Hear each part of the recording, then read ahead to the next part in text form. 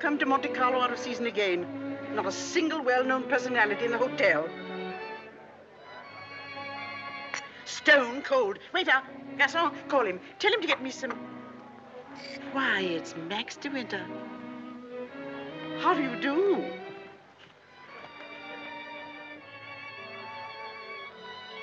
How do you do? I'm Edith Van Hopper. It's so nice to run into you here, just when I was beginning to despair of finding any old friends here in Monte. But do sit down and have some coffee. Mr. De Winter's having some coffee with me. Go and ask the stupid waiter for another cup. I'm afraid I must contradict you. You shall both have coffee with me. Garçon, coffee, please. Cigarette? No, thank you. You know, I recognized you just as soon as you came in, though I haven't seen you since that night at the casino at Palm Beach.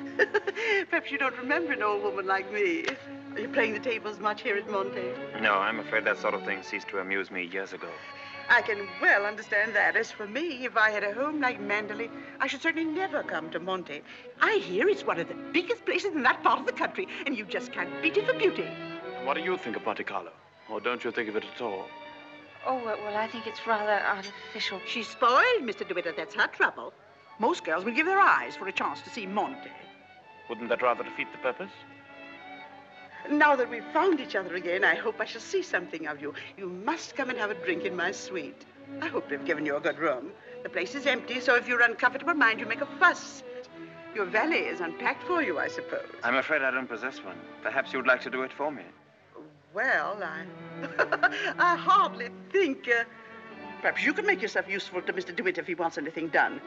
You're a capable child in many ways. That's a charming suggestion, but I'm afraid I cling to the old motto.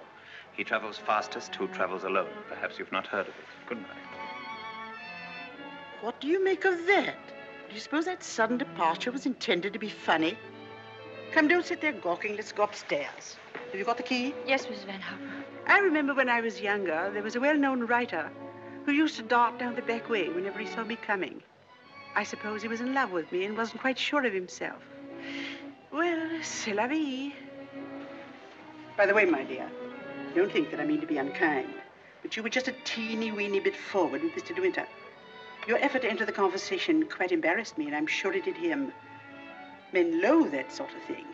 Oh, come, don't sulk. After all, I am responsible for your behavior here. Perhaps he didn't notice it. Poor thing. I suppose he just can't get over his wife's death. They say he simply adored her.